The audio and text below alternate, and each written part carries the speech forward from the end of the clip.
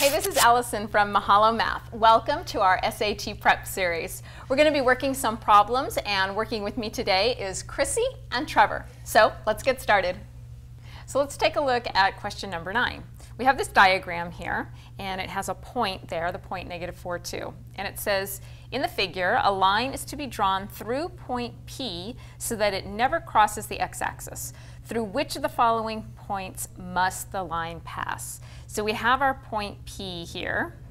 So, anybody have any ideas? Um, well, looking at the answers first, what is the um, negative 4.2?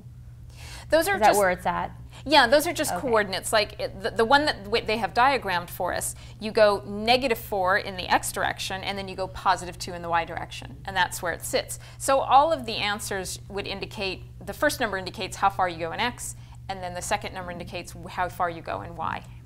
So what do we know? What kind of line do they want us to draw? What, what do they want the line to do or not do? Um, Not go through the, um, the axis? They, right, they want it to not go through the x-axis. So what would that line look like then? It has to be parallel to it. Yeah, it has to. It's going to have to be a horizontal line, right? Because we want it to be parallel to the x-axis. We don't ever want it to touch it, right?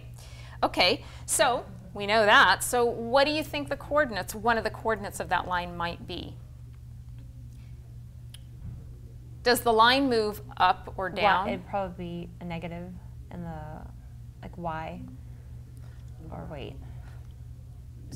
So if the line is running parallel to the x-axis, is the line moving up or down in y? Mm-mm.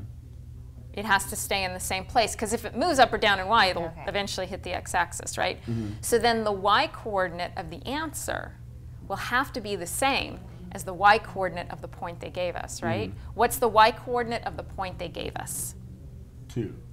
Right, they gave us the negative 4, 2.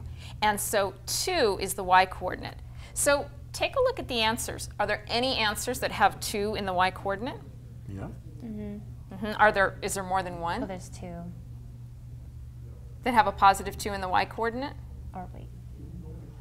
No, there's just the one. There's just the one, so Yeah. it mm-hmm. has to be 4, 2. It has to be this one. And when you think about it, if you, this line is at f- negative 4 and 2, so at 4, 2, you're going to get a point on the line that's going to keep it horizontal. So if you're drawing a horizontal line, you can always remember that the y-coordinate won't change. So if you're not sure, look for an answer that has the same y-coordinate as the point they gave you.